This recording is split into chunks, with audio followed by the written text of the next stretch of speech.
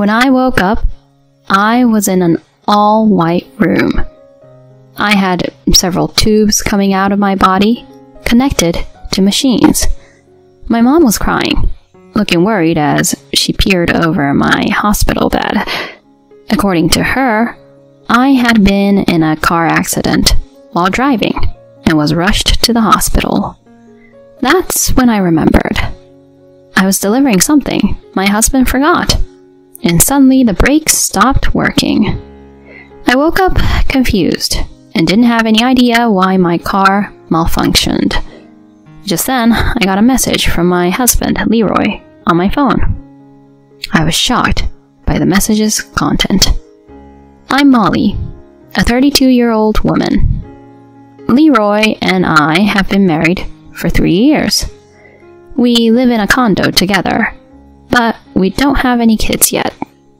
Together, we started a corporation, with him handling the CEO duties. The company's been doing great, with rising profits. Our employees work hard and our business relationships are strong. Considering all the struggles we faced initially, we're in a pretty fortunate position now. However, our marriage hasn't been going well, contrary to the company's success. Lately, Leroy and I have hardly been talking. It's been awkward. The trouble started a few months ago when I found an unfamiliar earring in the car. I don't usually wear flashy accessories, and my earrings are either simple or small. But the earring I found had a large, bright red rose decoration. Plus, there was a faint scent of woman's perfume in the car, different from any I own. Naturally, I confronted him about it, holding up the earring. Hey, I found this earring in the car. Whose is it? Plus, there was this perfume smell I don't recognize. He seemed caught off guard for a moment, then started making excuses. Earring? Oh, I don't remember. Oh, maybe it's from a coworker I drove recently. My bad. I'll make sure to return it. The perfume must be hers too. Don't get the wrong idea, okay? He quickly took the earring from me, and saying he had work left, retreated to his room. His evasive eyes made it clear he was lying. I was sure he was cheating. Since then, our relationship has deteriorated. I just couldn't trust him anymore. He tried to win me over with gifts and flowers, but his insincerity only made me trust him less. I thought if he has someone else, we could just separate. It's okay if his heart lies elsewhere. Living in a tense marriage isn't good for either of us. Whenever I tried discussing divorce, he would find excuses to avoid it. I have work. Or, I'm too tired now. Let's talk later.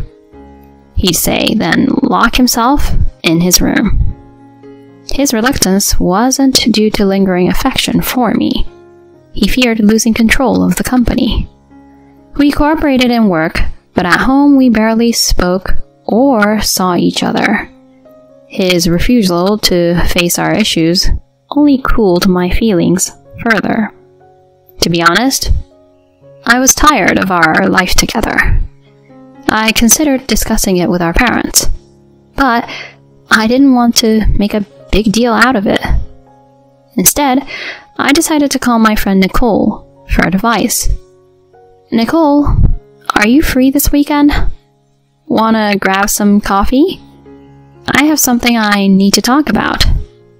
That's rare for you to ask for advice. Sure, I'm free. Nicole, my glamorous and outgoing college friend, was the opposite of me in many ways.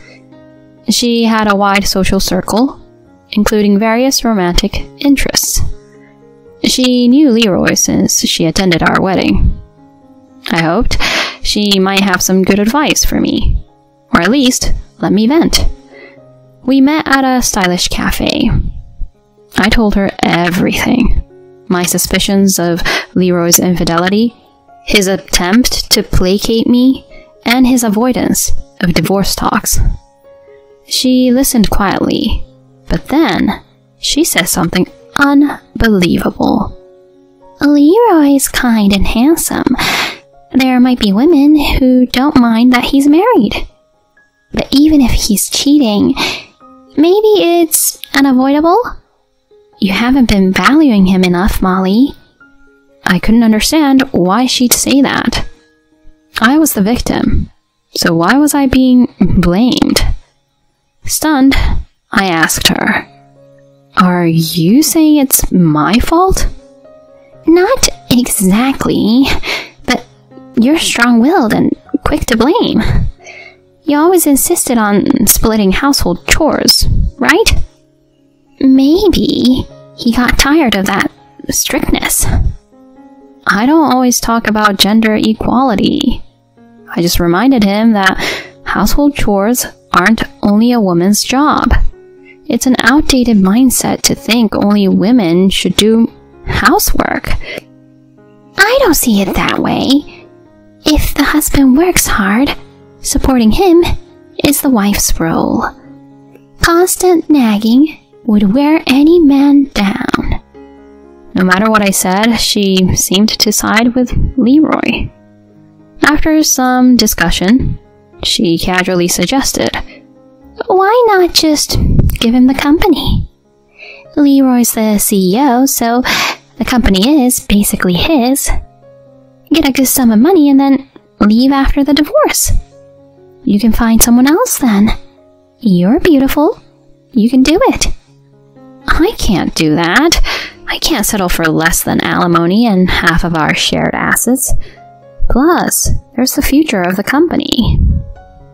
Talking to her only increased my frustration. I felt betrayed by my best friend. Was she always this off base? Suggesting I just hand the company over to Leroy? I went home without any resolution and a few days later, the accident happened. Leroy didn't come home until late that night. Around 10 p.m., he called. I'm really sorry, but I forgot something at the office. Can you bring it to me? I was supposed to send some documents to a new client, but I brought the wrong ones. I rushed out with my car keys Despite our strained relationship, this was urgent for the company. Like I said before, I don't mix personal feelings with work. The quickest way to the office was over the mountains, so I sped up. Then I realized something was wrong. The brakes weren't working. Panicking, I kept pressing the brakes, but it was useless. The car sped up uncontrollably, I missed a turn and crashed through the guardrail, plummeting off the cliff. That's when I lost consciousness. When I woke up, I was in an all white room connected to machines with several tubes. Is this a hospital? I turned at a movement and saw my mom looking at me worriedly. When our eyes met, she burst into tears. You're awake. Thank goodness. A passing car called an ambulance. They contacted me using the phone number on your note. She told me I was unconscious and limp when brought to the hospital, and she was devastated. When Leroy called, I was so shocked I blurted out that you weren't breathing. That triggered my memory of rushing to Leroy and crashing. I had a mild concussion from the accident, but fortunately, no injuries. The cliff wasn't high. The doctor said no major issues were found in the MRI, and I could go home in the morning if nothing else happened. It was already late at night. It was too late to deliver Leroy's forgotten items. Despite the accident, I thought I should apologize to the client. Checking my phone, I saw a message from Leroy, and opened it, freezing in shock. I've tampered with the car. That'll be the end of Molly. Now that she's out of the way, let's get married. His malicious message left me speechless. I had the accident because he sabotaged the car. His claim of forgetting something at the office was probably a lie. He wanted to be with his mistress without giving me alimony or our shared company profits. He tried to kill me to keep everything for himself. He must have sent this message to his mistress, but it was actually sent to me by mistake. I see. I was shaking with anger. I would have agreed to a divorce if he wanted, even considered reducing the alimony. But he chose the worst way to betray me. I couldn't forgive him. I was determined to bring him down. I discussed the plan with my mom.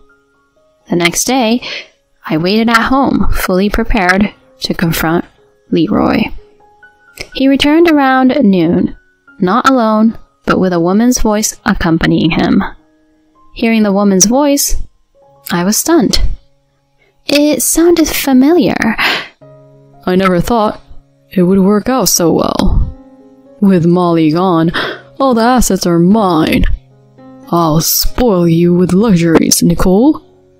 I'm so happy. I never imagined I could be with you.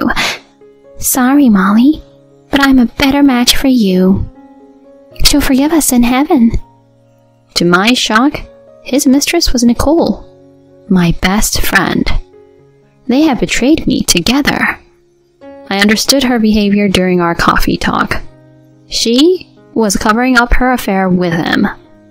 Their conversation continued. Tonight's the wake, and tomorrow's the funeral. We have to pretend to cry. If our relationship gets out, everything's ruined. I know. And we can't remarry immediately. It would look suspicious. We'll play the grieving husband and friend, gradually drawn to each other. It's like a drama. So exciting.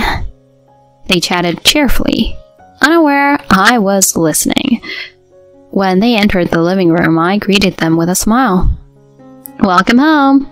You two seem happy. When they saw me, they screamed in horror, as if they had seen a ghost. Leroy stumbled backwards and fell, and Nicole collapsed, her legs giving way. In disbelief, my husband stammered. How are you still alive? Actually, I had asked my mother to tell him that I had died. That's why he felt safe bringing his mistress, Nicole, back home. I looked at them with a cold gaze.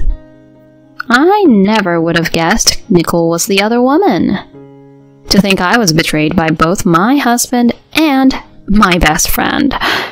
That was totally unexpected. How long has this been going on? They seemed to come back to their senses at my question. Despite everything, he denied the affair. No, no, it's a misunderstanding. I heard you died and I just invited Nicole over to console her. There's nothing guilty about it. She quickly joined in his defense. Th- That's right. I was so sad when I heard you had passed away. He was just comforting me while I cried. The idea of me going after my best friend's husband is ridiculous. Both of them had quite the nerve. They probably never imagined I had heard their conversation before entering the living room. Or maybe they thought they could bluff their way through, assuming there was no evidence. I confronted them with the incriminating phone message he had sent. He muttered. Oh man, I sent it to the wrong person. She glared at him in disbelief. Upon forcing them to talk, it turned out their relationship started right after I introduced him to Nicole. I told them firmly, I'll ask the police to investigate the car. You should be prepared because what you two did is a serious crime. He then begged for mercy. Please, anything but that. Please, don't call the police. If you report this, I won't be able to live a normal life anymore. I'll break up with her, and I swear I'll never do anything to harm you again. Do you hear yourself? How can I forgive you? I can't trust you anymore. We're getting a divorce, and I will demand alimony from both of you. She then lunged at me in a fit of rage. Then I'll just have to finish you off right here. If you're gone, I can be the president's wife. At that moment, a loud voice shouted, Stop! That's enough! My parents and relatives emerged from the back room and restrained Nicole. Leroy's in laws surrounded him, showering him with insults. I had anticipated they might try to harm me, so I had called our families to the house. One of my relatives had recorded the entire conversation and had already called the police. Hearing that the police had been called, Nicole's face grew even paler. She began crying and begging me for help. I can't be arrested. Please, Molly, forgive me. I only had an affair with Leroy for a bit of excitement. It wasn't serious. Please, uh, let's forget the police. We're best friends, aren't we? I reached my limit with her selfish remarks. F you. Who do you think wrecked your best friend's home? To say something like that now? Have you no shame? But, I mean, enough. I don't want to hear any more from a criminal. I'm cutting ties with you, and I will never forgive either of you. Stay away from me. Forever. Leroy and Nicole were then taken away by the police, crying. Later, they were found guilty of attempting to take my life. Their motive was to avoid property division and to monopolize the company's profits. They have become criminals out of greed, and I had no sympathy for them. Afterward, I hired a lawyer and finalized my divorce from Leroy. The alimony for the affair was paid by both Nicole and Leroy's families. They were to repay it after they were released from prison, even if it meant working to do so. Eventually, I took over as the president of the company. The employees did not pry into my personal life and simply offered their sympathy. Later, I returned to a carefree single life. From now on, I plan to focus on my work as president and live my life positively.